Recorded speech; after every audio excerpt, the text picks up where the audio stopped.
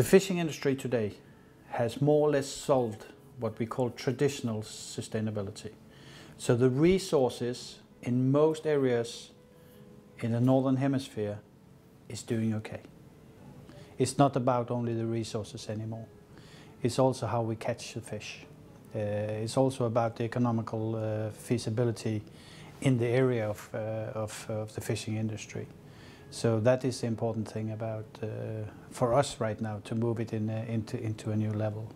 We need to have somebody in the industry try and get to get the stakeholders together to drive the changes. If we do it individually, uh, it will not happen.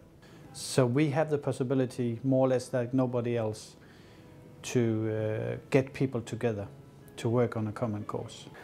Seafish was really pleased to get a proposal from Icelandic Seachill, Espersen and the Nomad Group that we could co-fund with them and look at the potential for new technology in reducing the environmental impact of fishing gear, to improve uh, fish quality, and to take a real in-depth look at how we can innovate in the fish catching process.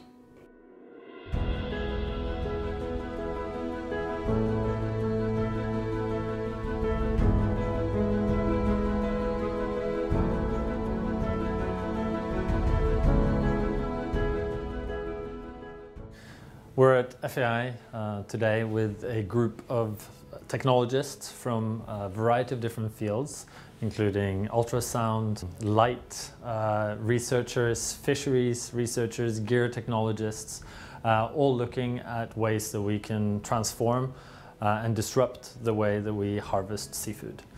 By disruptive uh, technology, we mean things that are better than what came before them um, that have real benefits to the key stakeholders in this industry. Uh, and also that can be big, as in it can be scaled uh, and it can be taken up by the fishermen uh, all around the world. Uh, a lot of great ideas coming out, uh, but we have to start somewhere uh, and try to evolve the fisheries uh, and we need new te technology in nets, new nets, uh, maybe laser nets, maybe acoustic nets, maybe new sensors, maybe herding the fish. I think there's a lot of tradition that has been used for a very, very long time in this industry.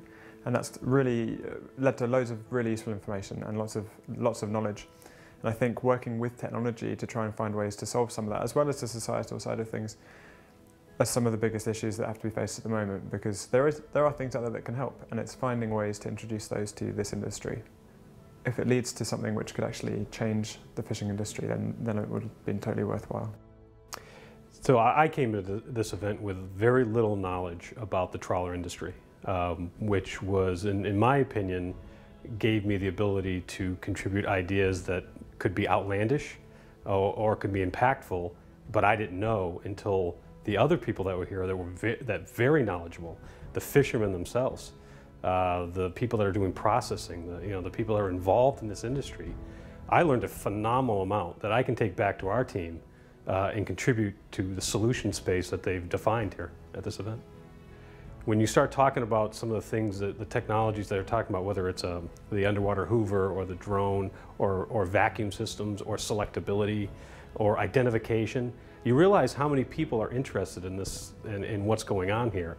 So I, I'm encouraged to see what comes out of this from the report because I think all of us from this just this nucleus of people, I think we're going to go out there and actually make an impact with a lot more people in the world.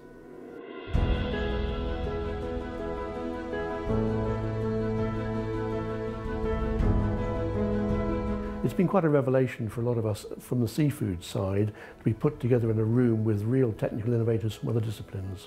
We've really seen some, some cracking ideas, I think some very powerful concepts that could be taken forward.